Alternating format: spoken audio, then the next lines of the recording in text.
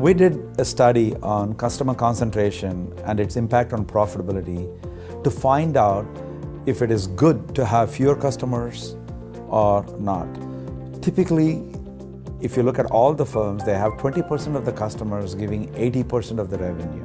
But then, what is the role played by the remaining customers? Why are they existing in the customer's database? Why are marketing resources being spent on them? And what value do they provide?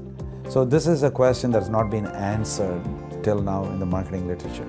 We find that having fewer customers versus larger customers raise the IPO value. But these fewer customers over time can demand many concessions from you. What can the startup firms do to mitigate the negative effects that is occurring in the long run? Build a strong brand. Make sure that the customers that you choose have higher credit quality.